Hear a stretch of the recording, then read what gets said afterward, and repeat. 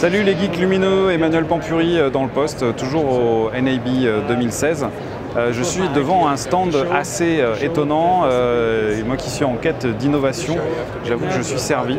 On avait vu il y a deux ans le système Andra, qui était un système assez intéressant pour, pour créer des automations sur la mise au point avec des systèmes de détection de distance, avec un dispositif assez, assez audacieux, assez complexe au final à mettre en place, mais plutôt efficace.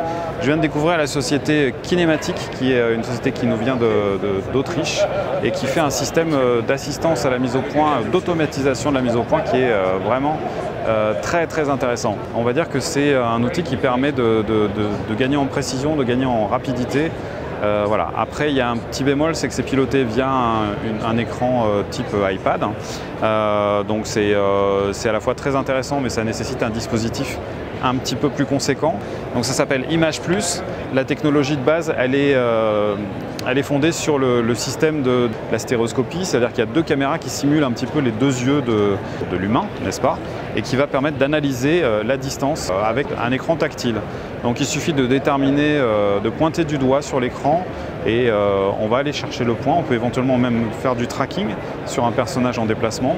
On peut euh, gérer le point sur deux personnages en, déplacement, euh, déterminer aussi euh, une zone dans laquelle tout objet rentrant va provoquer une mise au point immédiate.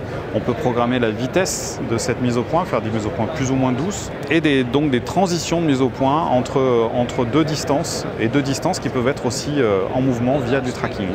Je vais essayer de vous montrer un tout petit peu comment ça se passe sur l'écran. J'espère que ce sera un petit peu plus explicite que ce que je suis en train de vous raconter, parce que j'ai l'impression que je suis en train de vous raconter un truc qui est vraiment un petit peu compliqué à expliquer juste avec des mots. Alors peut-être que l'image va être plus efficace. Donc là, du bout du doigt, là c'est le, mode solo. On va pouvoir euh, déterminer où est-ce qu'on veut le point. Donc là, je fais le point sur moi.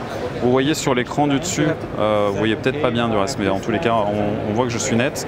Et si je décide par exemple de faire le point sur le, cette grue qui est juste derrière, hop, la bascule de, points est, immédiate. On voit ici en plus la distance exacte, donc là 8 mètres 22. Si je reclique sur, euh, sur ma tête, ça fait la mise au point. Si j'ai bien compris aussi, il y a un mode tracking. This is tracking? Ok, so I just have to find to choose one point. Et là donc j'ai choisi de, de traquer une zone autour de mon œil et vous voyez que le rectangle on voit ici donc en effet sur le tracking que si je bouge ma tête comme ça, le, point est conservé. Ah, bien entendu. Voilà.